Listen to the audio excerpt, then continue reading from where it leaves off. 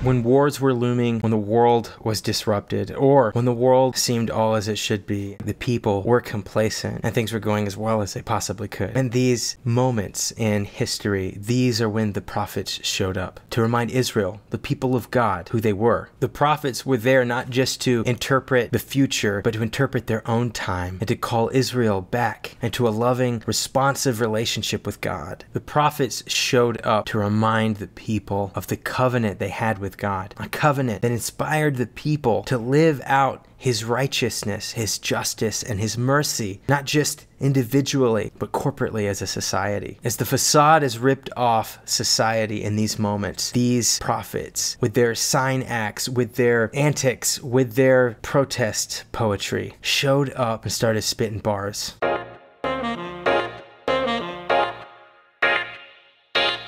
They spoke truth to power and they revealed the spiritual state of their people and they called them back into a whole scale societal renewal of shalom, of wholeness, of a society that models the character of God. And for we who follow Jesus today, in our own cultural context and our own nations, we can read the prophets with this sense of a tradition of seeing the needs in society and modeling what it looks like to speak truth to power and to call God's people into spiritual renewal. May we not harden our hearts as was often the case of the audience of the prophets of old. But may we soften our hearts, hear their critique as we listen to their protest poetry and seek God and seek wholeness together. So we're going to dive into the prophet Micah.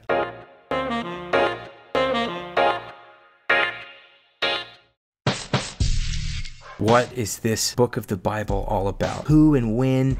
Why? All of these questions we're going to be wrestling with. But let's just take a look at the whole picture for a moment. Arnold and Beyer say Micah's message centered on themes of social injustice, true worship, and false security. C. Hassell Bullock says Micah pitted his message against a society whose overconfidence and self indulgence had become the false gospel of the pseudo prophets. Micah aimed largely at the civil and religious leaders of Judah, but he was not blinded to the sins of the people whose cause he took up and defended. So, this is what we expect in this book to speak truth to power about injustice, fake facades of worship, and an invitation into a renewal that comes to change not just individual hearts, but the whole society around us. Our poet prophet, who's spitting bars, calls us into shalom. Are you ready to experience the prophetic voice in the book of Micah. Drop a beat.